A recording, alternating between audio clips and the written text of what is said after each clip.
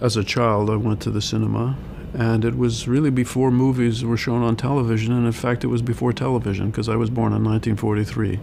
So, for images, for moving images, the cinema was everything. And um, uh, children in Toronto would go every Saturday to the cinema.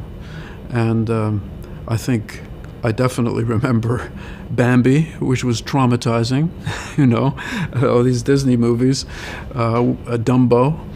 Um, also traumatizing because in each case it was some baby being separated from its mother, and of course for a child that's very traumatizing.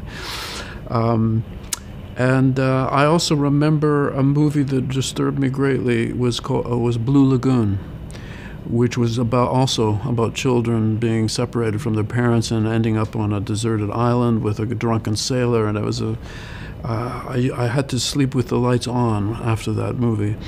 Um, so, uh, but also not uh, these are the traumatic ones, but there are also many movies that were very were wonderful, of course, and and a lot of Disney and a lot of cartoons as well in those days. You know, you'd you'd go see two movies with cartoons, with a news uh, documentary as well. So uh, and uh, every week basically. So that that's the first. Um, I have to say it was when I started to see European films that I began to think of. Well, I've told this story many times. You'll forgive me if I tell it again. Because there I was, and the, and the cinema still exists in Toronto. At the time, it was called the Pylon uh, and uh, and it has a different name now, but I think it's called the Royal. But um, in those days, I lived in a neighborhood that was full of immigrants, and many of them were Italian. It's, and it's now part of what we call Little Italy in, in Toronto. And um, I was watching my usual, which at that point would be a Hopalong Cassidy movie you know, and the Durango Kid. These were Western movies that you would see different ones every weekend. And I came out of the cinema with all the other children, and across the street was a cinema called The Studio, which only showed Italian films because there was enough Italian population to make that viable commercially. And I saw uh, grown people coming out of the theater weeping, crying, and I was shocked because I thought, these are grown up people, these are not children. And they're weeping. Some movie has made them, has destroyed them emotionally.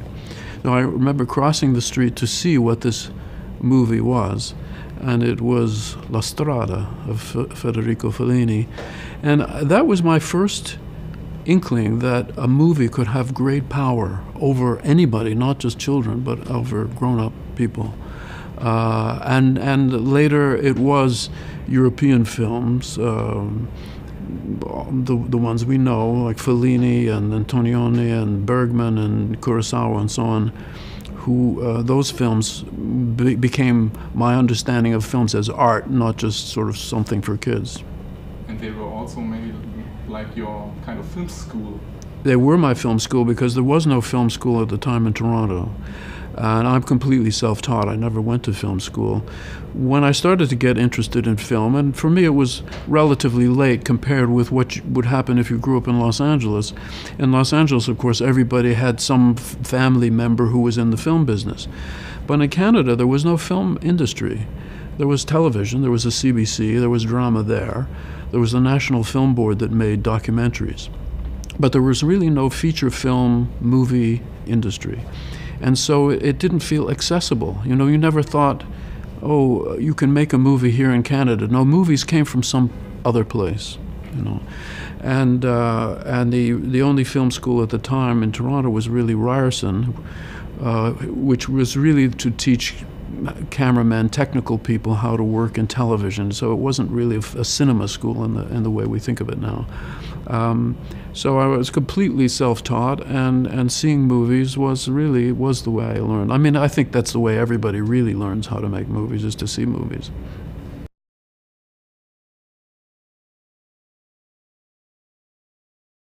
Well, um, Toronto is, uh, you know, it, it, of course, it's my home. My, my roots are here. My parents were, were, were here, and my family history was here. But, um, but Toronto was really a very perfect place, really, for, for movie making, really, uh, because it's halfway between Europe and Hollywood, you know, and I think my filmmaking reflects that. It's, it's a sort of, there's a commercial element, and then there's also a sort of European art movie element. And I think that that comes from where I am because many of my friends moved to Los Angeles. I mean, Ivan Reitman did, and um, Lorne Michaels went to LA and then to New York to, to do uh, Saturday Night Live. And I think they're very influenced by, they've become Americans basically. And uh, I think their movie making reflects that as well. Um, and I was reluctant to, to do that because I, I, I understood that the pressure, for example, of Hollywood is, is quite extreme. It's like a very dense planet. It has a great gravitational pull. And I think living in Hollywood, it would be very hard to not make Hollywood films, especially for someone who was not an American. And that was why I resisted it. Not that I hated Hollywood filmmaking at all. Of course, I loved it the way everybody loves it. But um, I felt there was there were other things that I wanted to do, not just that. And so that's, in a sort of conceptual way, uh, why Toronto was important for me. And, and uh, there was a moment when I almost felt I had to go to, to Hollywood. Um, because, for example, we have filmmakers like Ted Kotcheff who went to London to make his films, and we had Norman Jewison who went to Hollywood to make his films. And, and I thought maybe I'm going to have to do that. Um, and I went to LA with a friend, and we rented a you know a Mustang convertible. we drove through, and and um, I met all kinds of people like Roger Corman and so on. And they said, because uh, I had an idea for a film which later became Shivers, and I couldn't get it made in Canada. And they all said, Well, we love this idea. This is a great idea. We would make this film no problem. So I thought, I'm going to have to move to LA and become a uh, Hollywood filmmaker. By the time I got back to Toronto, Cinepix, which was a Montreal company that was the only place in Canada that had at least started to make movies, and they were in French and Quebecois. They were French Canadian movies. Um, they said we finally got tele- what, what what is now Telefilm, but then was called the Canadian Film Development uh, uh, Corporation to invest in Shivers. And so we can make the movie. And that was the turning point because I think another month I would have been gone. But so it was really the European model rather than the American model. That is to say, that governments have to support the local, uh, the national film industry, which is not what happens in America. Uh, mentioning Shivers, in your early films, you deal with um, diseases, mutations of the body, uh, issues that scare people. Yeah. People are afraid yeah. of that. Did you have to face your own anxieties about that, mm -hmm. overcome them, or how did you go about that? Yeah. Um, it, it's funny because I, when I started to write Shivers, my first screenplay, uh, I had no idea what I would write. Uh, I had been a, an enthusiast of science fiction and uh, but not just science fiction, other other wonderful writing as well. And I and at the time I really did think I would be a novelist, not a filmmaker. I, I didn't. My father was a writer, a journalist, not a not a novelist. But uh, I, I was I grew up with the sound of the typewriter, you know, in the next room. And I used to fall asleep to the sound of my father's typewriter, you know. So writing came very naturally to me. Um, and uh, and when I decided to try my first screenplay, I had made a couple of underground films. It was really the New York underground film movement. It was the '60s, you know, do your own thing, grab a camera. You don't have to go to film school. You don't have to be part of Hollywood. Uh, you don't have to join a union. You can just make your own film, and that was very liberating. And I had made a couple of films, and I had taught myself to do that by looking up in the encyclopedia we didn't have Wikipedia then. Uh, camera, lens, sound. How do you get the sound to synchronize with the picture? You know, all of those things that people don't have to worry about now with video, or you can do that with your cell phone. But in film, it's a rather awkward, difficult process. And so I just had figured that out myself, and I had made uh, four basically underground films that had been shown in film festivals, at the Edinburgh Film Festival, and so on. So I actually had a kind of international filmmaking experience before I did my first professional film. Shivers, I think of as my first professional, even commercial film. In other words, I was paid to do it. And I had other people looking over my shoulder, producers. Uh, I had to work with, when I first sat down with my first film crew, um, I had no idea what anybody did. I didn't know what an assistant director was. I didn't know what a production manager was. I had no idea because I had done all of that myself, shot the, the movie, edited it, synchronized the sound, done everything. So I had that experience before I started to write that screenplay. And um, I had no idea what it would be. I had done um, uh, something called Stereo and something called Crimes of the Future. And they were slightly science fiction, but sort of also kind of dreamlike fantasy and so on. Um, I wouldn't say fear was involved, in other words. I wouldn't say it was anxiety. It's more, uh, I, I thought I would be a scientist as well, and I particularly an entomologist. I was very interested in insects and uh, insect life and the, the, the, strange forms of life that we have on this planet. I thought we don't have to go to some other planet to find uh, alien life forms. We have them right here. They're fa- incredible, and people just don't notice them, but they're fantastic. Um, so I had that medical science interest. Uh, my science teachers all thought I would end up being a scientist, and at a certain point, I went to the University of Toronto for a year, uh, studying organic uh, chemistry basically and and I thought maybe I would also be maybe a cell biologist which was which now is the hot field. You know, cell biology is, is fantastic because, of course, it involves uh, genetic structures and so on, and it's, it's an expanding field. But so I had that background and that interest, and so it was very natural for me, in a way, to write a, a film that was like a science experiment. Though it wasn't really so much about fear, even though it is a horror film, there's no question, and it's a scary film. But uh, for me, it was an experiment, you know. And I, I, I was it, it, it, it, didn't scare me. The, the the the process of making movies was scary though. that was terrifying because it was a lot of, very intense. I mean, my first film was uh, two weeks shooting, a 14 day schedule. You know, that was very difficult with a lot of special effects and guns and explosions and car crashes and everything else.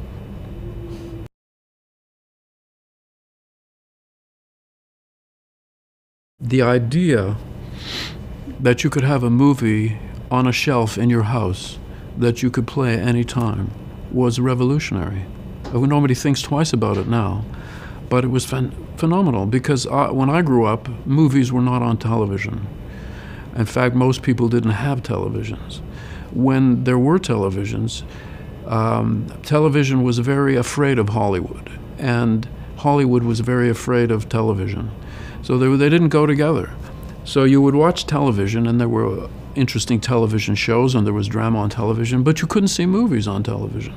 And in fact, in those days in Hollywood, you were not allowed to show a television set in a movie.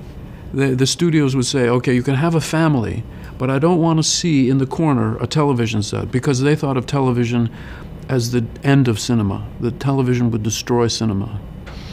And it was only when they began to realize that they could sell movies to television and finance movies by doing that, they realized that in fact the two went together very well, cinema and television. And in fact, at a certain point, people thought that cinema, uh, the television had saved Hollywood. Meanwhile, Hollywood de- was developing widescreen, cinemascope, stereo sound, color, all of that to defeat television things that you couldn't get in television. The television, you had a very bad image, small screen, black and white. And so Hollywood felt that. So, it, in fact, uh, television helped accelerate technical development in film. Uh, of course, I was watching all of this. I was feeling all of this and sensing all of this, even though I didn't necessarily know the politics that were going on behind the scenes. And the development of video that you could control yourself was phenomenal. And I bought the first bunch of them. I had a Sony video videocorder. There was even uh, a tiny little video videocorder that used normal uh, audio cassettes to record video. And I had one of those. It was terrible quality, but amazing still. And this was in the 60s. Uh, and uh, I was experimenting even then, and then and ultimately with video cassettes and so on. That really made a huge difference because people had trouble with reel-to-reel cassettes, and you had to wind them up, and the tape would rip and so on. Anyway, I lived through all of that, and it was all very exciting, and it's it, it uh, but it really meant that you had control, that you had access to film in a way that you never had before. That you could have a library of films was an astonishing idea.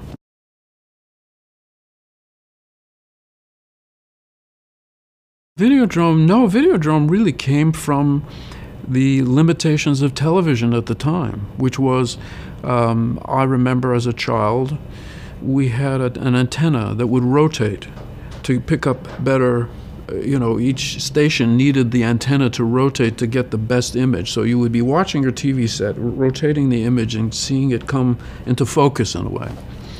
And sometimes, when the major, this is something else people don't now think of. It wasn't 24 hour a day television. It was, you know, at 11 o'clock or 11:30, television was finished until the morning. You didn't go all night. And um, after all the television stations had shut down, you you could sometimes pick up some strange signals from now in Toronto. It would be mostly from America, maybe Buffalo, uh, maybe from New York, maybe from Detroit, and those signals were very weak, but you could pick them up late at night, and you would see things, but it would never be clear uh, and you wouldn't know what you were watching. And it was very mysterious and sometimes very disturbing and very intriguing. And so I used that experience with Videodrome. In other words, old technology really at the time. I even have scenes of a satellite dish, you know, and so on. Um, but of course, when I was doing it, it was an antenna, not a satellite dish. There were no satellites. Um, and uh, it was just that idea of picking up a mysterious, forbidden signal that somehow you had access to by accident. And that's really what, what, what had to do with uh, Videodrome. And uh, this idea of a hidden channel uh, strikes me as something very, um, very valid and powerful even today. When you yes. think of the internet, yes. there is this dark net so there always seems to be a place yes. where people are hoping to find yes. something forbidden. Or yes, that's a, a, actually true, and and it's why people sometimes think that Videodrome was anticipating the internet. Uh, of course, I wasn't really thinking about it, but it's true that some of the things that I was playing with, which is to say interactive television, television that would respond directly to you, uh, was is in a sense an anticipation of something that has become the internet, really. Uh, so it, it, hasn't changed. And yes, there are some very forbidden uh, imagery and uh, videos on, on the internet, which, I mean, it, it, it's, it's quite extraordinary that, that the police could come to your house and discover that you had downloaded some images and arrest you and put you in jail for a long time, mostly, you know, child pornography and so on. But it, it, that's an extraordinary thought uh, that, that the images condemn you immediately, uh, and that even though you just sat in your room and clicked to access them, but you were condemned by doing that. That's extraordinary. Videodrome has also some groundbreaking, I guess, uh, special effects, which mm. are based on yeah, certain ideas, uh, can be read as metaphors. How did you come up with these crazy ideas? Mm-hmm. Well, it's very. I think in art it's always very mysterious as to where images or concepts come from. Um, it's a, it's sometimes it's very much a, an imagistic thing. Sometimes it's a conceptual thing first, and then becomes uh, incarnated in some imagery.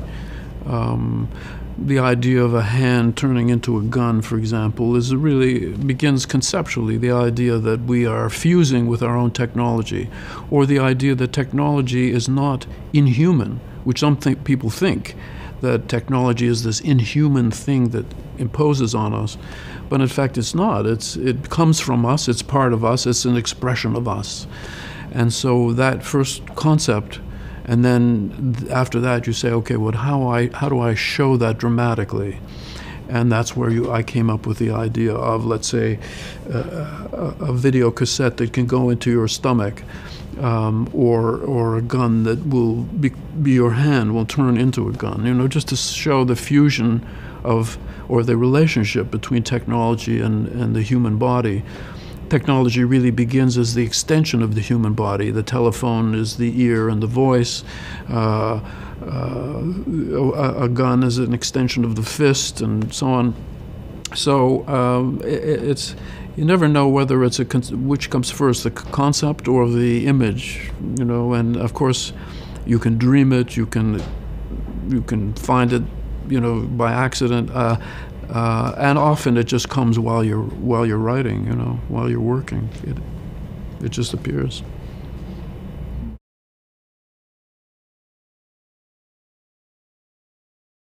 I mean, even in video Videodrome, you see a little Atari controllers and so on. I mean, um, I think it was obvious the the idea of a tiny world that you enter and that you can play in and can uh, have experiences in uh, a virtual world. Um, it's really just an extension of the idea of cinema, but cinema that you can control and interact with, or television that you can control and interact with. Once you think in those terms, then a video game is becomes an obvious thing. Um, and uh, even though I was thinking of it at a time when, in fact, there was just maybe Pong. You know, there wasn't very much in the way of video games, but I was very intrigued by by that, and I I was very interested in technology, uh, for, for, just as a matter of course. Um, I was really I could see that the typewriter was a ridiculous thing. And I could see that the editing that we did in film was ridiculous. The moviola, stupid you know, when I was shown these machines, now we have great nostalgia for them. And we have nostalgia for film because it connects to a history and an art and so on. But if you're working with those, you are not nostalgic. You can't wait for something better to happen. And I couldn't wait for word processing. Um, because, uh, so I remember the first PET, you know, the PET. I thought maybe this will, no, it wasn't right. Um, because a typewriter doesn't work the way your mind works. It's a machine. It's from the Victorian era. It's it's clunky. Uh, when you want to go to the beginning and then to the end and then to the middle, you can't. You, you have to tape it. You have to. It's it's terrible.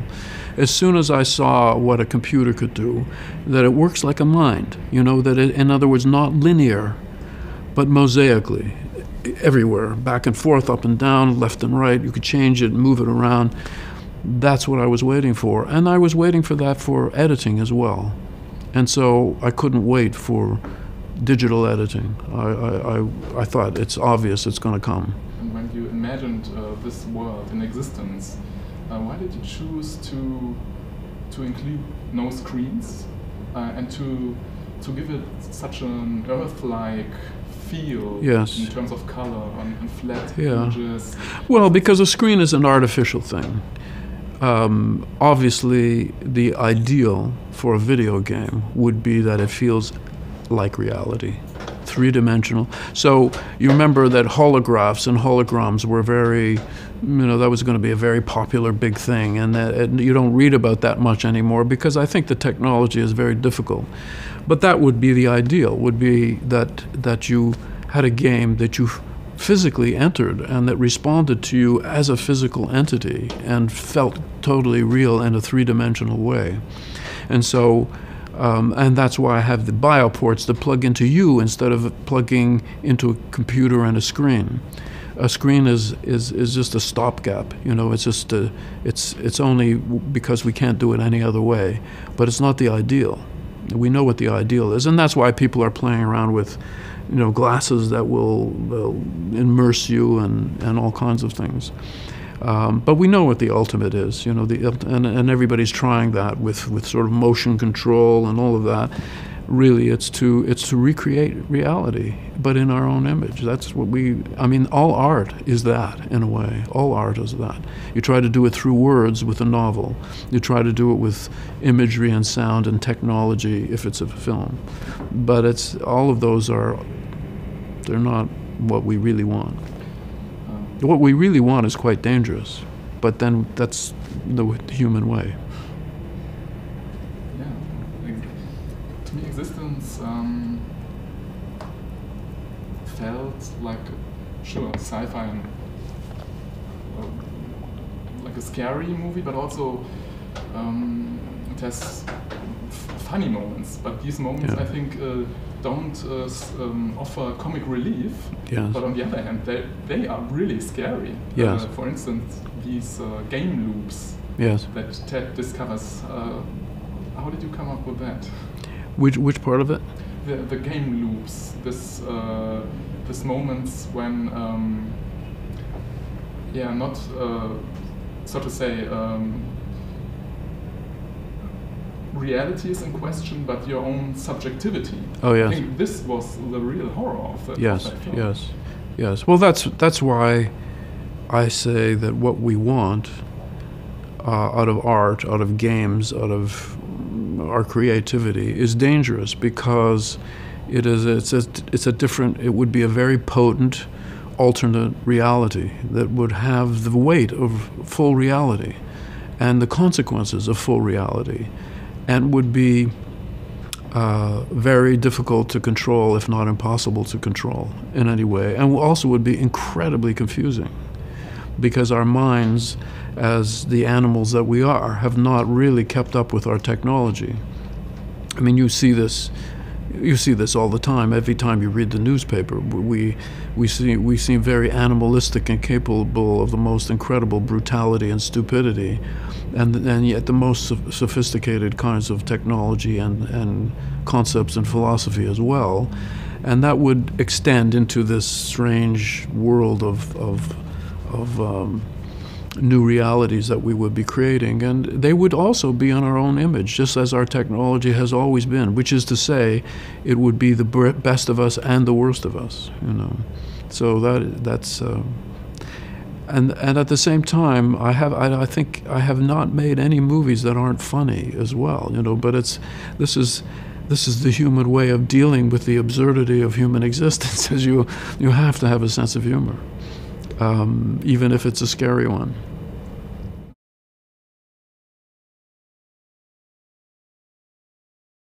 One of the things that you inevitably deal with if you're if you're working with actors, uh, is identity. You know, when you say something you don't want to do, what is the who's the you? Where is that you? What in what does that you consist? You know, I mean, of course, I deal with it in Spider in a more contemporary way, and because that's schizophrenia, which which is uh, in many ways an identity disease, a disease of identity, and it, it's very revealing.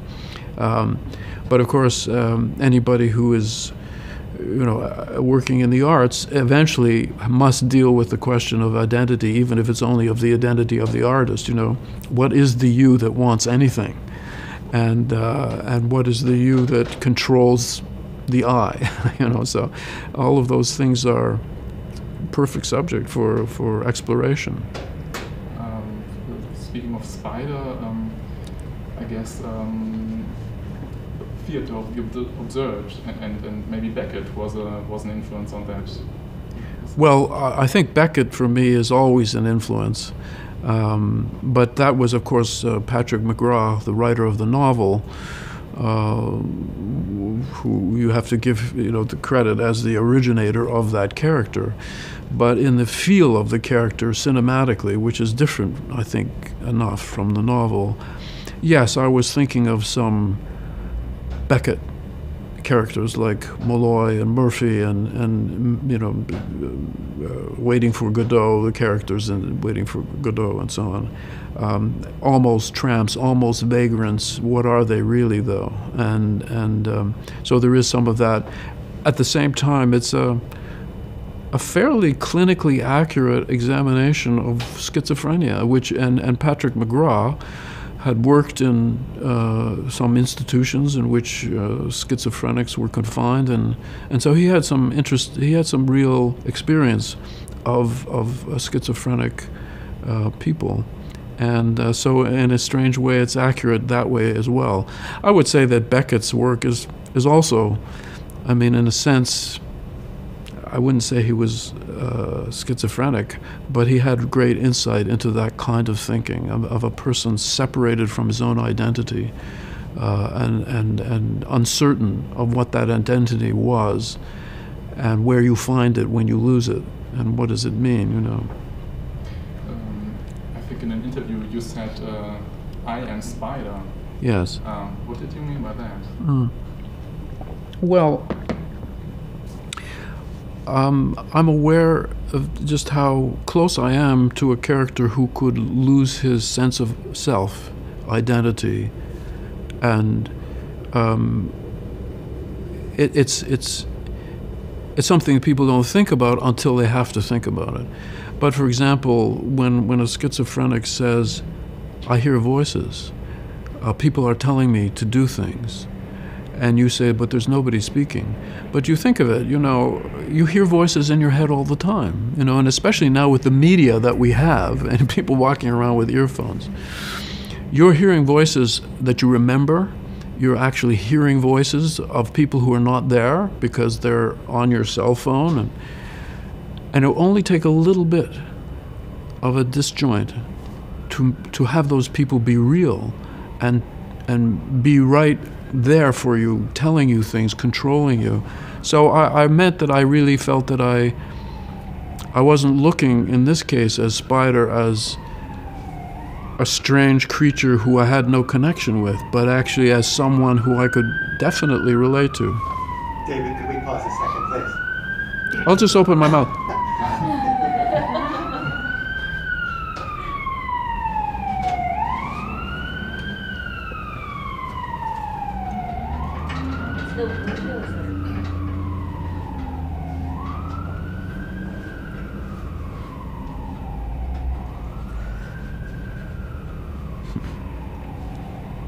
Spider is like like like a like a writer, like a.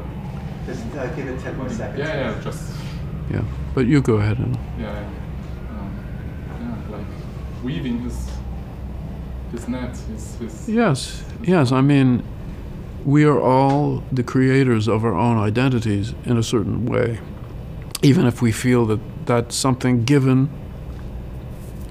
But in fact, we are actively involved in creating our own selves. And uh, I, I, remember saying when I was, you know, doing interviews for Spider and so on, you wake up in the morning, it takes you a while to become who you are. It's not just that you have to have that coffee, you know. It's you have to remember who you are, where you are, where you've been, were your dreams real, who were you in your dreams. Uh, you have to reconstruct yourself every day. And if for some reason you could not do that, because of something that happened in your brain or your nervous system. I, I can I can understand that. I can feel that. I, I feel very close to that. So uh, that's why I could say I, I, am Spider and not be, you know, being very arch or you know pretentious. I, I really meant I really meant that that I, I felt very close to that character, as did everybody working on it, Patrick and Ralph Fiennes as well. I mean, the actor. You know, we it was a very difficult film to get made because it's not very commercial. And we all ended up not taking any money for it. And I include the actors, the producers, the writer, because we we wanted Spider to exist, you know, and it became a question of a, of existence of this character. We couldn't allow him to disappear. We were so close. So we all agreed to take no money in order to get the movie made. All of us felt the same way. So it wasn't just me who felt close to Spider. I also found very touching about the film is that he's trying to tell his his story, to, to, to find his his story, Yes. and he tells him tells it to himself only, Yes. not to the audience. That's right. So the film is like detached, but therefore Yes. very touching. Yes, yes. No, I mean because I think most people in their daily lives, if you talked to them about being separated from themselves or separated from their own identities, they wouldn't know what you were talking about. But in certain moments of stress, of anguish, of pain, people realize that they can be separated from themselves. Sometimes they want to because the pain that they're feeling is too great and they must detach from that pain and that therefore they must detach from some part of themselves. And that happens in moments of great stress great loss great disaster. You find this. I mean people talk about post traumatic stress syndrome and so on. This is all very much what spider is experiencing was it working with Ray Fiennes? Well, how, Oh, you lovely. Create this character together. Yeah, well, I, I, I, we were very close. I mean, we, I, I still feel great, very close to him. Um, very easy, lovely man to work with, very intelligent, very sensitive. Um, it's funny, he said to me, That's the least directing I've ever had. I've never been directed less. And I said, You know, when you're doing perfect work, I don't want to say anything. I don't have to say anything. What, what, and I, it's partly because it's the script, but of course, when you're preparing for a, a movie with an actor, there's a lot of directing that goes on before you start shooting with the camera. You are saying what clothes, how how is he shaving? Can he shave? Does he not shave? How, what is his hair like? What are his shoes like? How does he walk? How does he speak? And that's directing. And we worked on that a lot before we started to shoot. And by the time we started to shoot, he was he was Spider. I didn't have to. Didn't, took almost nothing, you know. Um, but that was the ease we had with each other. Very very easy and very.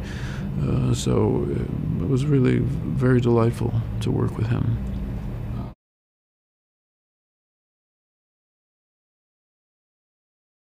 I have a long, strange history with the Cannes Film Festival because when I was um, trying to figure out what I would do with my life, I spent a year living in France. And I lived in a small town called Tourrettes-sur-Loup, the Loup River. Um, it was up in the Maritime Alps, a small medieval village, which I went to because um, a friend uh, lived had, had discovered it, and uh, there was a Canadian sculptor named Jim Ritchie who lived nearby in the town of Vence, and uh, I just went to visit and ended up staying for a year. And that was very close to Cannes and to Nice. And at that time, I had made my underground films, and I wasn't sure really that I had a career as a filmmaker. I still wasn't sure what I would do. I was still thinking I was going to be a novelist. And I decided, because the Cannes Film Festival was happening, I, I would go down to Cannes and see what that was like. And I did. And I was horrified because, you know, I'd been living in this little town with maybe 900 people, no cars.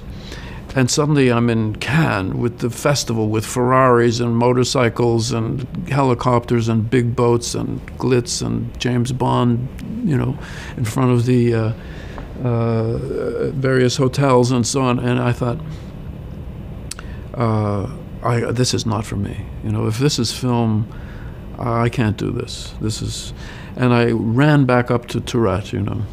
But then after a couple of days, I thought I should go back down again, just as maybe I didn't, you know, my attitude was wrong. And then when I went back down, I loved it. Of course, I had nothing to do with the festival, which was far away and inaccessible, really. But um, I found that there was a whole world of filmmaking that I had not known existed on the street corners. People were selling films like drugs. You know, they would be selling a Turkish film to somebody in Finland, or you know, a, a, Spanish film to someone in Argentina. And I got involved with these, just met all these filmmakers who were making films that you would never really get to see in Canada, let's say. They were not, they were so far from Hollywood. Um, and it was a real community uh, of colleagues of sort of international filmmaking, and I thought, this I could I could connect with this. This was, It wasn't the Palais de Festival, but it was filmmaking. And uh, I found that very congenial. And I think that at the same time, too, I was able to stay in the Carlton Hotel in a very nice suite at night because the, the Canadian Film Development Corporation, which, as I say, then became Telefilm, had offices there. And as a Canadian who had made some underground films, they said, well, you can, I said, I have no money, I have no place to stay. They said, you can stay here at night and you have to leave in the morning because we have to open up the offices. So I was staying at the Carlton Hotel, you know, as a uh, with no money. That was very it was very sweet. And so I had great affection for the festival, even though at that point I had no connection with the, the main part of it. But this was the marketplace. And um, later, uh, began to you know show my films as part of the competition, and that was uh, um, a wonderful platform for bringing when you have a low budget film and you don't have a lot of money to promote the film you have people who come from all over the world who are interested in your film if it's in competition. So even if you don't really love competition for, for art which i don't um, it's a strange thing to, to, to compete for films and say this is the best film this is the best actor because really the variety of filmmaking is so uh, huge that you you can't compare the films. You know, you can have two films that are wonderful, completely different. Um, so, but the competition is exciting and it focuses on these 20 films, 22 films, and if your film can be one of those, and and all film festivals work this way, but Cannes is the grand festival now, um, then it, it helps you sell your film and to get people to see your film.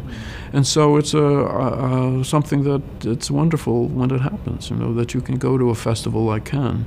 Um, of course, I've been in Venice and Berlin as well, and they function in the same way, but each festival has a different character, you know.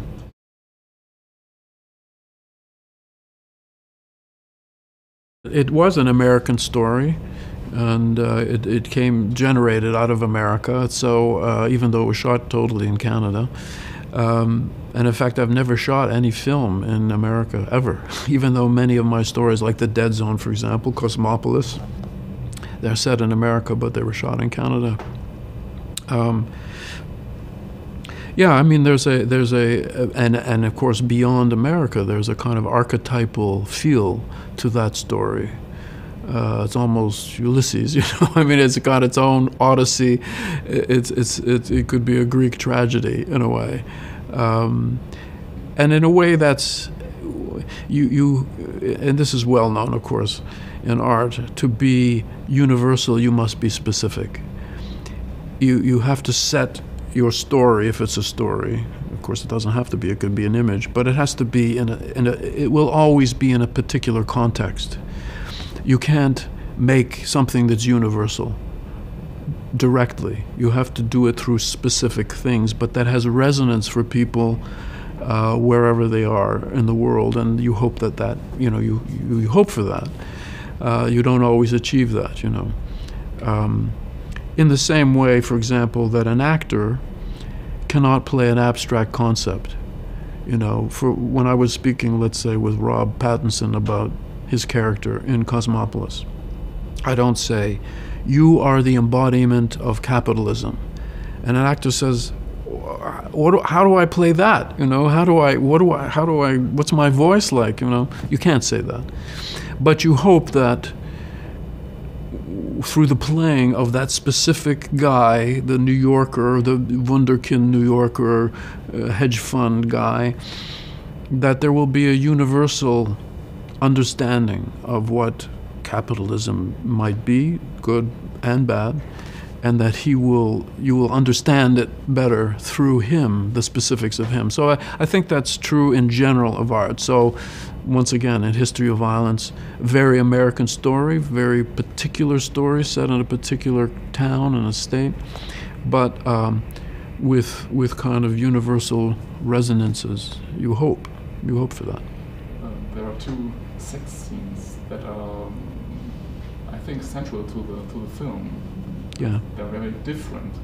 Yes. Why did you put them in, and what do you feel is the difference? Yes, yeah, they weren't actually in the original script, and they were things that I put in. Well, it's um, it's it's it's sex between a man and a woman who know each other very well. They think, and uh, and yet they it's a sort of before and after. You know, it's a sort of during the illusion when they have created this these characters together and this marriage together, and then afterwards it's a kind of all of that has been stripped away, and and and uh, betrayal has been involved, and now it's just very raw between two people who almost don't know each other. It's worse than not knowing each other, because they have antagonized uh, they have antagonized each other. Um, it's sort of scenes from a marriage, really. You know, with Bergman film. That's a great, great film. A great TV, TV series, actually. Um, so my version of scenes from a marriage, you know, different different moments in a marriage, which in that movie those scenes take place very within not too much time has passed between those two scenes. But if you are if you are in a marriage that goes on for many years, you have many scenes from a marriage, and you have sex scenes that are, or love scenes, or whatever, that are very different. You know, given the shifts and changes in people, it's very fascinating, very intriguing. There's no consistency, you know. The second scene happening after, like, uh, Tom was forced to show this uh, real. Yes, yes, yes might say so, I don't know, yeah. real identity. Yes. Is it the second time? Is it more truthful or more passionate then, or is it? Well, it's more desperate. It's more desperate the second time uh, because there's a desperation to keep what they had on on the part of both of them, uh, and yet.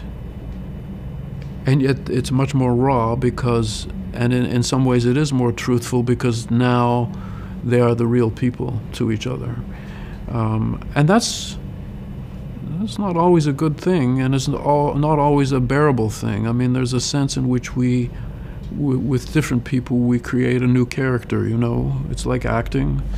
Uh, we do change depending on what our context is with each other, and there's no guarantee that to be because you are married to someone and you have sex with them a couple of times a week or whatever it is, that that is the most real you. It's, it's, it's, it's a construction. And, and a marriage is a kind of performance that goes on for a long time. It's a performance art piece.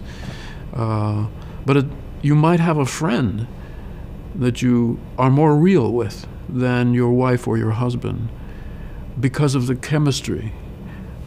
It's possible, I'm sure. You know, so uh, it was an opportunity within a sort of a gangster film to have a really interesting observation about the nature of marriage. And, uh,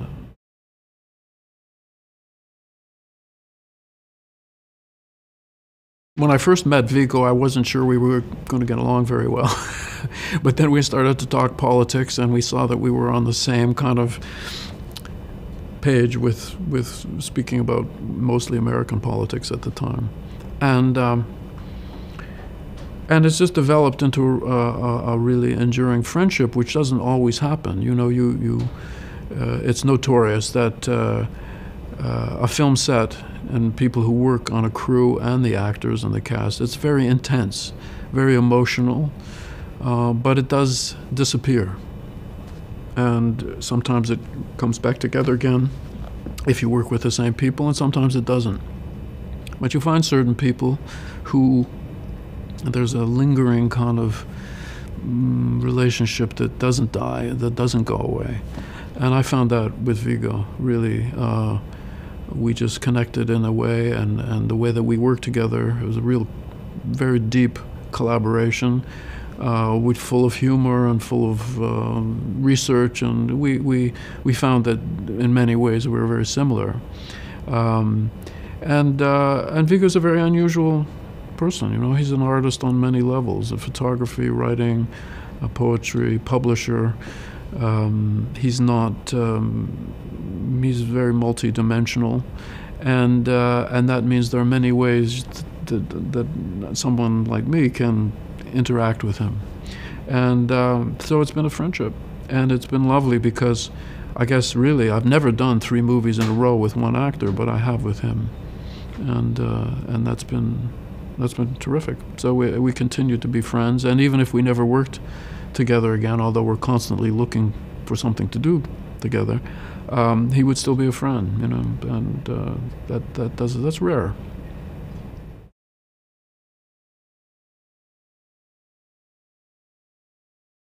I, I, deliberately wanted there to be no guns in Eastern Promises, um, because partly because of the culture of the Russian gangsters. Not that they don't use guns, of course they do, but I was really thinking of the atavistic, the primitive, the ancient sort of Russian, pre Russian, pre Soviet Union culture of Russia and trying to give some sense of that without being too obvious about it. Uh, that it's very intimate and very emotional and very almost religious, ritualistic. And that means guns do not lend themselves to that. Guns lend themselves to disconnection. It's, it's very easy to be disconnected from someone when you shoot them. It's much harder to be disconnected if you're stabbing them with a knife or strangling them or punching them. You know, then it's very physical and you're very much involved in that other person's body and mind and so on. And um, that's the way I felt that these criminals were. And so I decided to just have guns not be a part of the story You said almost religious. It almost yes. uh, feels like some kind of um, Christmas story in a way. Yes. Um, which is um, strange uh, knowing that you are an atheist. Yeah. Well, I'm an atheist, but not all my characters are atheists. And uh, um, so it's true that I don't think about God ever as part of my life or anything. But if you are a dramatist and you are working with characters who come from a particular culture, you have to accept their understanding of life and with passion, you know. So um, the Nikolai character, I'm pretty sure he believes in God, you know. And uh, most of the other characters in the movie do too. Some of them are Muslims, some of them are uh, Eastern Orthodox and that's a part of their life, a part of their understanding of suffering. Um, because everybody in life suffers, but not everybody thinks of that in religious terms. These people do. And they think of suffering as a way to salvation, also in religious terms. And so as as as a sort of their their I am their God really. You know I'm creating them. But so that's religious in itself. Um, so the, I am a very hardcore atheist believe me. But um, uh, you you become like an actor really as a director or a writer. You must take on the character as that character is and believe in it as you're playing it you know um, and allow that character to exist as he would exist. So that's really what, what that's all about. So I have no problem with characters who are religious and believe in God. I, I would have a problem if that was the point of the whole story because that bores me, you know, because I just don't have any intellectual or emotional respect for it, frankly. Um, but uh, as you know, in, in, in Eastern Promises, that is not the primary sort of dramatic engine. There was a very impressive scene in the bathroom. I was wondering, what do you have to do to to get such a such a moment? Uh, mm. What is required uh, in terms of I don't know trust or? Mm. Well, it, it is a scene like the, the knife fight in the in the uh, in the um, steam bath is is a matter of trust, totally, and it's a matter of artistic integrity, and it's a matter of understanding. It's a, a understanding what is required and accepting it and not being afraid of it. Of course, most of that had to do with Viggo. I mean, he had to. We, we sort of looked at it. We said, I said, because in the script it just said there's a fight. You know, they didn't didn't talk about where the towels were or what you saw or what you didn't see. So it was for us, the stunt coordinator, me, and Viggo to work out. Um, and also uh, the production designer, Carol Spier, because I said, I want a theater, you know, I want a theater for this ballet. Um, so I need different interesting angles and parts of rooms and so on. She was creating that. Um, and then with Viggo, he ultimately he said, "Well, it will be ridiculous to try to have a towel around me all the time, so I obviously must do it naked." And I said, "Yeah." And that was all we talked about. That was it. I don't say that that was easy for him, uh, but uh, but he didn't make it difficult for me. Whatever he had to do in his mind to do that, because he hadn't done that before, not that.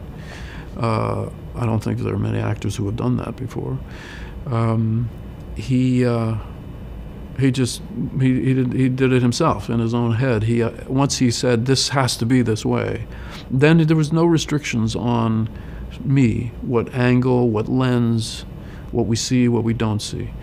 Uh, as a, but the way I work, I always have monitors, lots of them, and I always allow my actors to see whatever they want to see.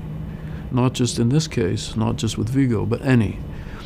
And some actors really are very interested to see that last take and to th- see what they did to say maybe refine it and some directors are afraid of that because they're worried that the actor won't like himself or it'll take too much time or whatever. I don't feel that way. I feel it's open to everybody.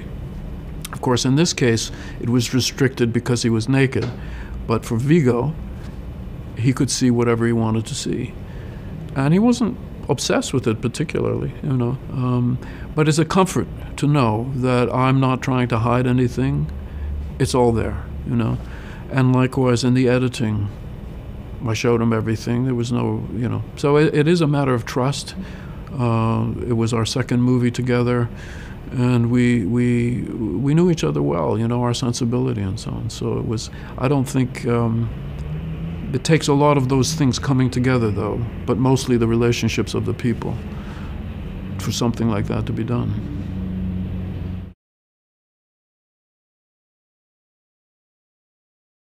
I, have never really had any sort of. There has never been a gender divide for me dramatically. Um, my second commercial movie, Rabid, has a woman as the main character, not the man. So, uh, and and uh, when I was writing eXistenZ, for example, it wasn't working until the I changed the main character to a woman, and then it suddenly worked. So um, I've, I've, I've always felt, and even in Dead Ringers, which is, you know, people accused me of being a misogynist, or and, and I say, well, no, it's the characters are misogynist, but not me. That doesn't make me a misogynist. But even then, the Geneviève Bujold character is extremely strong. She is more than a survivor. You know, she's the strongest person. The men are not. So um, that has never been, to me, a, an issue at all. You know. Um, you know, we see wonderful movies like uh, Lawrence of Arabia with no women, like none. Works fine, you know, because that's that was the the theater that was played then. It was no women. It was war, and that was it. Um, so I, I, I, you know, it, it, and I noticed that when I watched that movie, but it, it's it's of itself. You know, it's not a political, it's not a statement of a social, social, social political statement or anything else. It's in the nature of what that story was, and that's the way I feel. Uh, it's just, it's just the way this, whatever, however the story unfolds. Um, so I've never felt that I must have a male protagonist to feel connected to a film. That has not never been the case, and that includes those two movies, Shivers, uh, Rabid, and. Uh, eXistenZ that I wrote myself.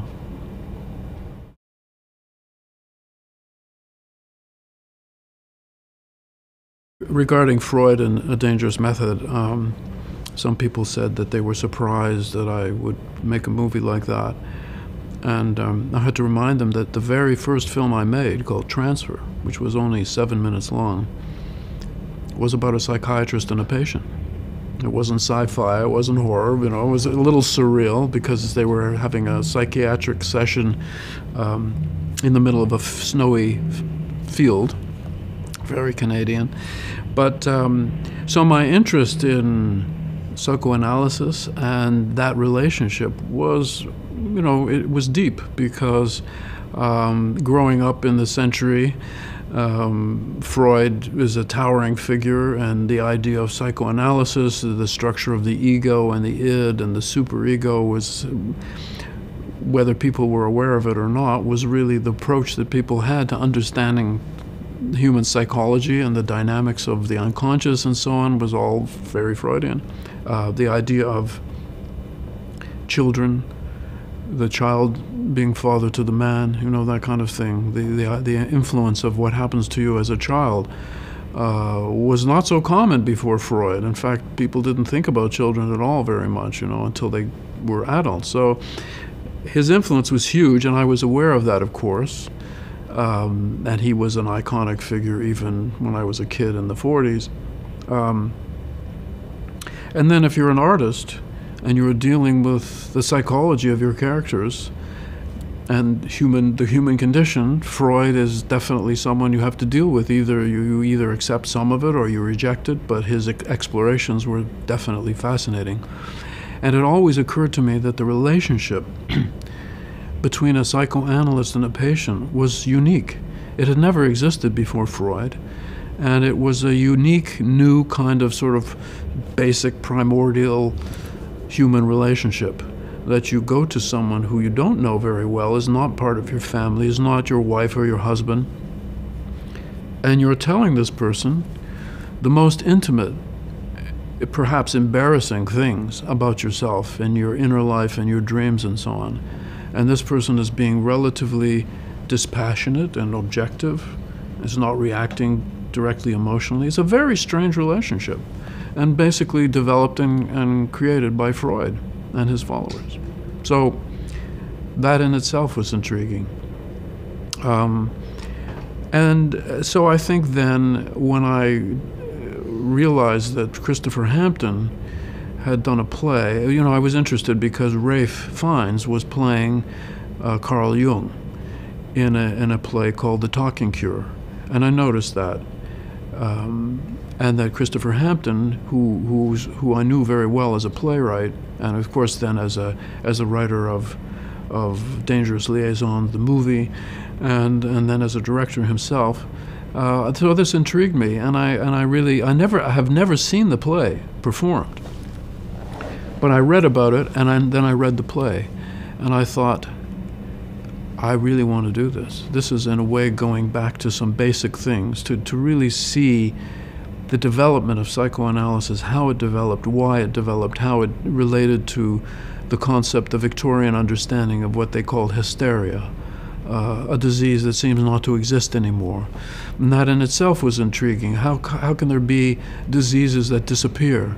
Uh, why do they disappear suddenly? Are they really social phenomena? Does that mean? Rather than sort of innate human psychic phenomena. And, and all of this was very intriguing to me. So um, I got in touch with Christopher, and that's how, how it began, the, the, this, the saga that ended up. It took a long time for various reasons to get the movie made.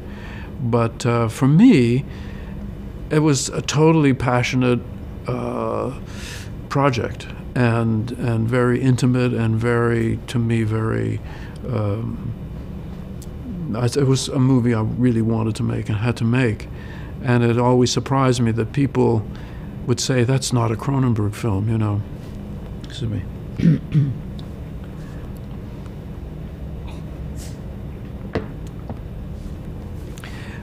I always wonder how people know what a Cronenberg film is because I don't know what a Cronenberg film is, you know. Other than that it's a film that I want to make. To me, that's the only uh, criterion that counts and I really that was a film I really wanted to make. And its style, which is very formal, um, pleased me. And it came from, you know, I, I don't think of my cinematic style as being innate to me. It has to come from the material. You know, you, you I don't impose a style on.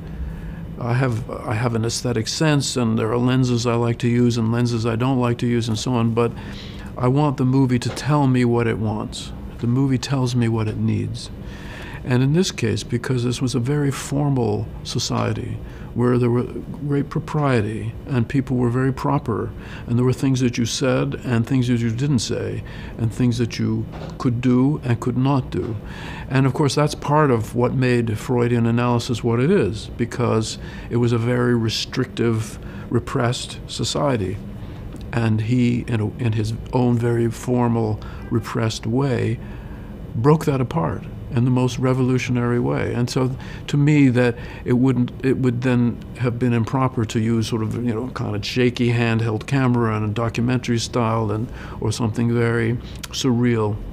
I thought that the material that they were all dealing with and the emotional intensity of it was was what should be right up at front. So that determined the style of the of the movie and uh, and I and it's interesting that you know when you find some people thinking they don't understand how that movie can come out of you, you say yes, that's it's it's um, it's more complex than you think. You can't really pinpoint uh, an artist and say this is Cronenberg-esque and this is not, or you know, however it is. And it's interesting I mean, when you go to an art exhibit and you see, as we had in Toronto, uh, an exhibit of Frida Kahlo and Diego Rivera.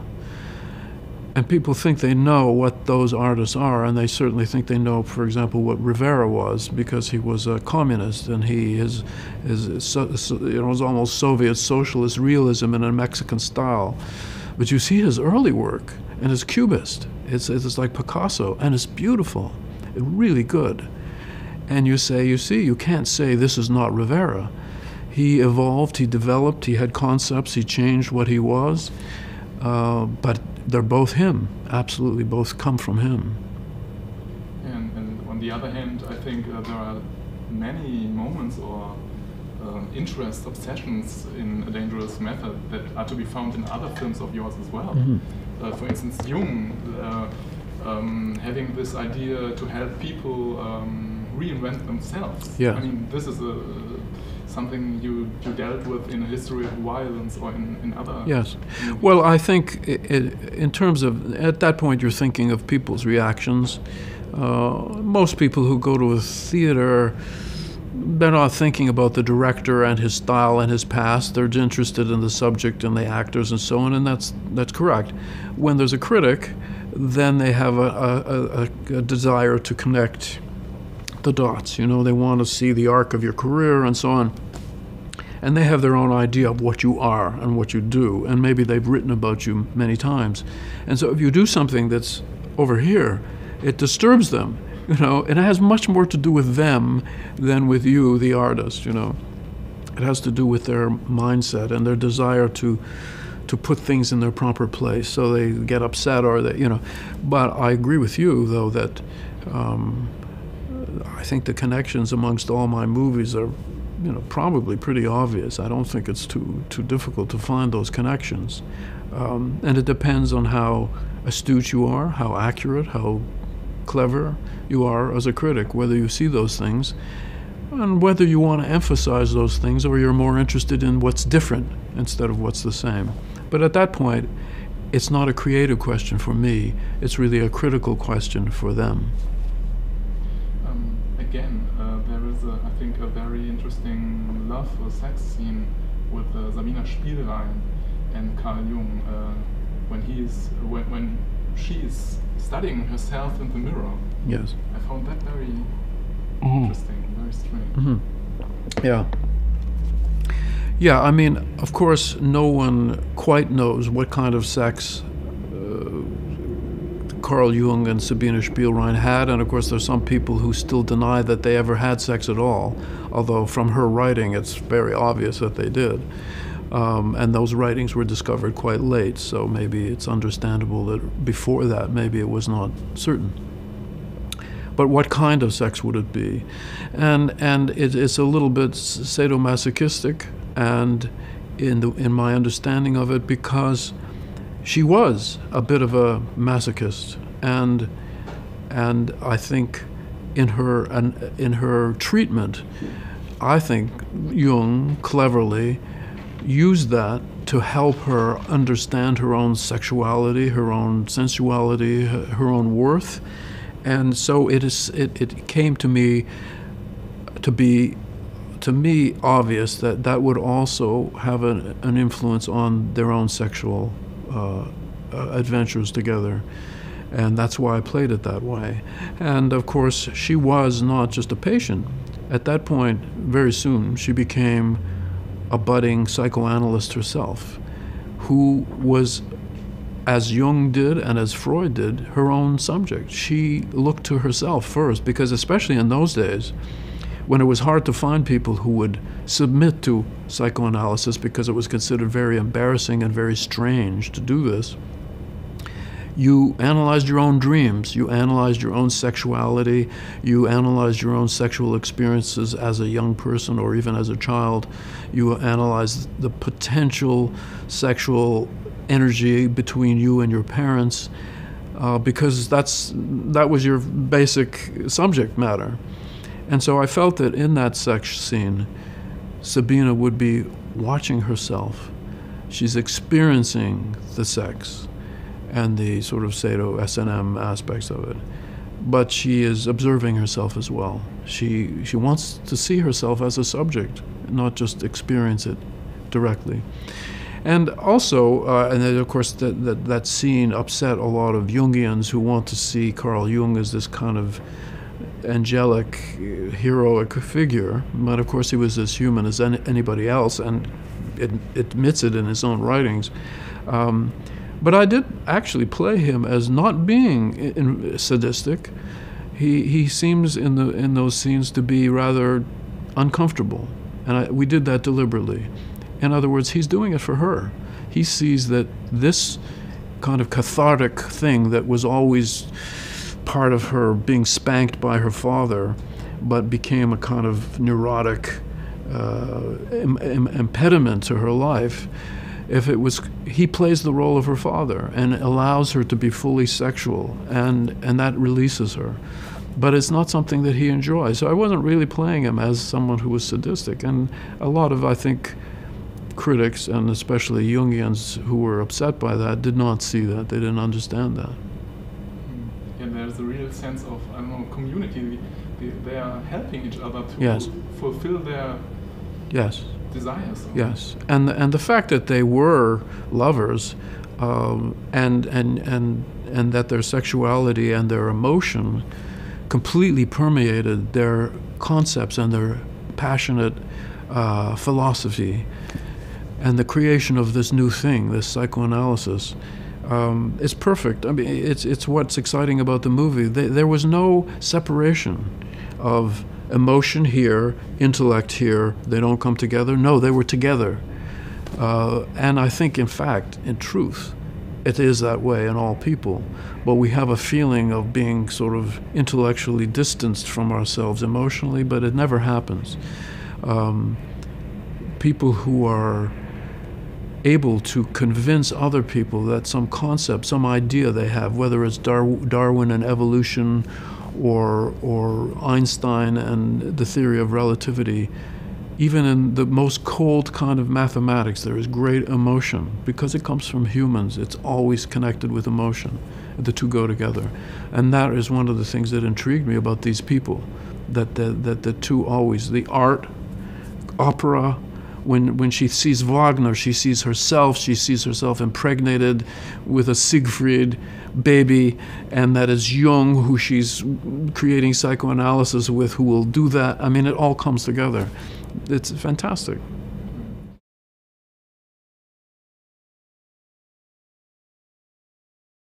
Well, you see in the movie, he, he, he himself is trying to figure out what humans are and has become so abstracted and cerebral um, and so caught up in the capitalist zeitgeist that he has lost sight of what he is Uh, once again, of course, an identity question.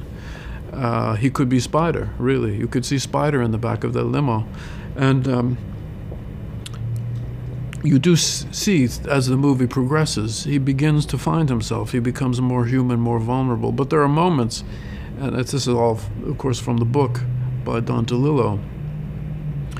This is what people say, he says, isn't it? This is how they react. This is how a man talks to his wife, isn't it? He's not sure. He's inventing it. He, he doesn't really know.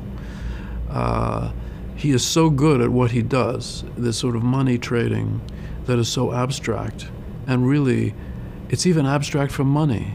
You never see him touch money. He doesn't actually know how to deal with money. He doesn't know how to take money out of his pocket and pay for something, which, as you see in the end scene with Paul Giamatti talking about the credit card and so on. These are the physical things that you must do as a normal person. But Eric doesn't do that. He has people who do that for him. It's all abstract, it's all computerized, it's all what they call high intensity trading, which is trading stocks not because you love the product, not because you're trading Apple and you love your Apple computer. No, it, has nothing to do with that. It has to do with computer money digitizing.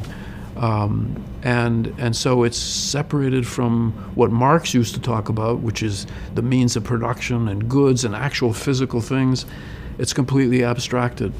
And so he himself is abstracted from being human.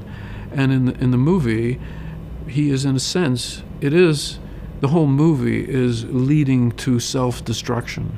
But it's to destroy something that he, he wants to escape from. He's trying to escape from what he is and uh, and of course he does succeed. Uh, there's uh, the moment uh, he's talking about um, rats to his uh, colleague, mm.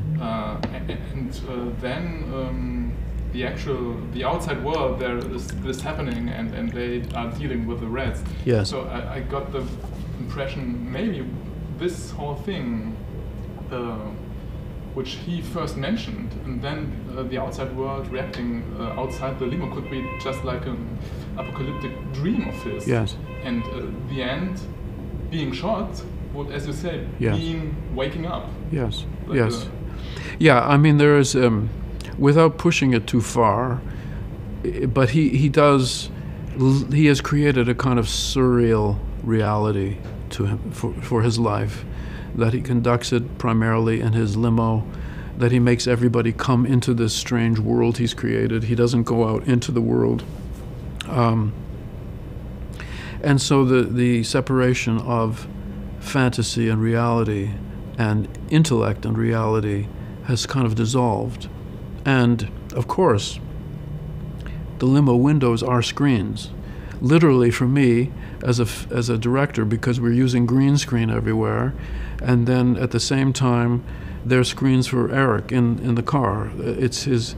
It's almost they're almost touch screens, you know, the windows, um, and what he sees, like the rat lady with the rat at the window,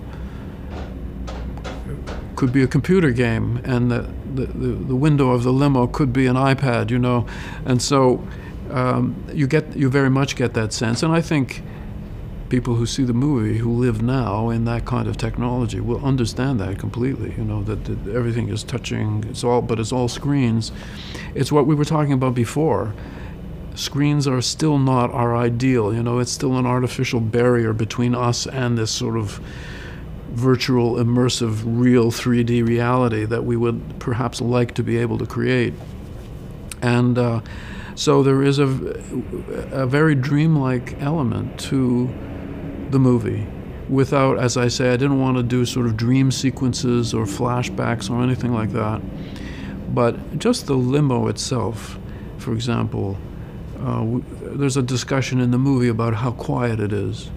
And I had my, I, I make it completely silent when the doors are closed and the windows are up much more silent than it could ever actually be. And my sound guys, you know, when we were doing the sound mix, they were very worried about that. Don't you want some sound of the tires or some sound of the road? And I said, no, I mean, this is in a way, it's not realistic, but it's the way Eric wanted it to be. It's sort of his imagining that the limo can be completely soundproofed. He even admits later that that's impossible, that the sounds of the city will come in. Um, but he's made the attempt. And um, so that in itself, without being too obvious, and especially to a normal audience, which is not necessarily that uh, aware of what you're doing with sound, although they feel it, it would give this kind of surreal, dreamlike feeling to whatever happens to Eric in the limo. And then really that, that tone pervades the movie, though we're it's fairly realistic in what we shoot.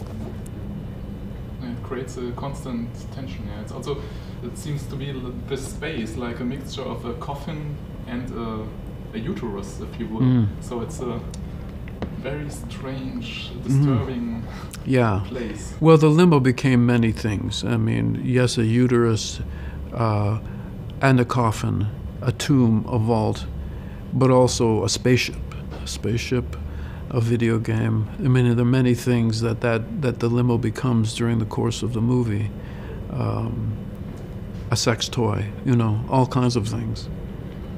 Um, there were people who said, yeah, it's uh, maybe a film about the crisis, but not really about the crisis, and we know all this stuff and. Uh, um, but I felt that it's it is a film about a crisis, but yeah. not necessarily about the financial crisis, but about the crisis of, uh, yeah, as, as you mentioned, connecting and meaning. Yeah. yeah. And this is yeah. an overarching. Uh, yeah, I think it, it's interesting. I mean, in a way, the the financial crisis maybe hurt people's understanding of the movie because it diverted them into thinking only about that. But in fact, in the movie, there isn't really a financial crisis. Eric creates his own disaster economically. And yes, there are protesters protesting against capitalism in the streets. But there's really no suggestion that there's been a disaster on Wall Street. It's his own disaster. He's done it on purpose. And you realize gradually that he's been stubborn about his investments, and all his people are warning him that he's in trouble, and he still goes ahead he deliberately destroys himself. So it's really Eric Packer's financial crisis, not anybody else's in the movie. And, and of course, it's hard because of the Occupy Wall Street demonstrations and, and some other strange things. Um, for example, Eric gets a pie in the face by a sort of anti financial activist. And, uh, and Paul Giamatti uh, texted me and he said, I can't believe this, but um, Rupert Murdoch just got a pie in the face. And it happened while we were shooting. So it, it was very tempting to connect what we were shooting with what was actually happening in the real world. But in fact, that's not what the movie's about. And, uh, and in a way, it can be a distraction, and perhaps the movie will be seen more correctly later, you know, when there is, we hope, maybe no financial crisis. we'll see. But what indeed is very uh, scary, I think, is maybe not the coincidence with Occupy Wall Street, but Eric's comment uh, that yesterday it was a global uh, protest culture, and today, today it's forgotten. He, he even said two hours ago, a global protest, and now forgotten. Well, that's been happening, and and there is a sense that there is a momentum in the world. And of course, the, the, you, see, you see there are documentaries and, and discussions right now about all the things that happen on Wall Street and with these investors, none of whom has ever gone to jail, ever been taken to court. Um, they're still out there functioning, and Wall Street is working as it always did.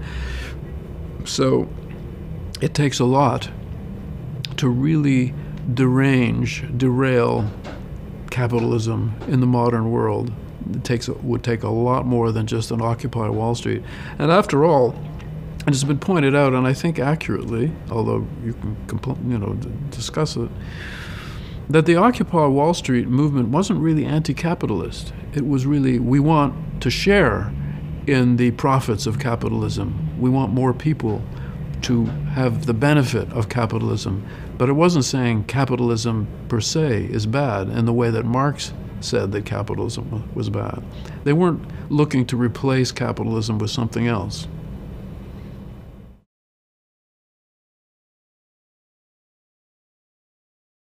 You know, people like to say age is just a number and so on. And it is strange to, to, to think that I'm 70. I mean, I, I can't, I, I really honestly cannot connect me and my life with that number and what I would think of 70 as being and so on. Very strange, very strange. But of course, that life is full of that strangeness, you know, that you, you, you, you become things that you weren't before and that you anticipate and that people have understandings of and that you did, and then you realize that it's quite different, really. You know, 70 is it's meaningless in a way. So, uh, though I'm I'm sort of you know honored to have somebody notice that my 70 birth, 70th birthday is coming up. Uh, it, it, it, and in some ways it means absolutely nothing, you know. So I, I, uh, I just continue. I don't really have a particular, you know, birthday wish, but thank you for asking.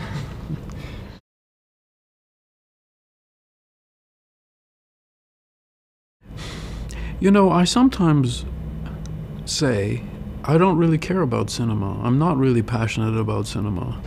Um, I, and and uh, and then I think and I think, well, in some ways that's actually true. Um, because there are people I know, friends like Marty Scorsese, who are very passionate about cinema, concerned with preserving cinema and and and uh, restoration of old films, which is fantastic that he does that, and the history of cinema and so on. And I think I'm not like that. Uh, why is that? And I think it's because it's the act of the creative act of the imagination that is really what I'm passionate about. The, the, it's not the form, it's not the technology. And that's why I have no trouble saying video is fine and great. I have no nostalgia for film, like film stock except for the smell. I like the smell of film, but I thought we could have an air freshener that smelled like Kodak film, you know, and that would be fine. I wouldn't need the actual film itself. So I don't have that. Other than historically, I don't have that incredible, intense, aching nostalgia for the technology of film, for example, uh, in a way that frees me. And as I say, if cinema disappeared, you know, I, am writing a novel anyway, you know, and some for some people the novel has already disappeared. You know, that's a theoretical thing. So it's really just human creativity that is a passion for me, but not the actual particular form of it. I, I can, as long as, I mean, it would be very difficult if I could not ex- express myself in a creative way. That would be difficult. But there's so many ways you can do that. Okay, thank you.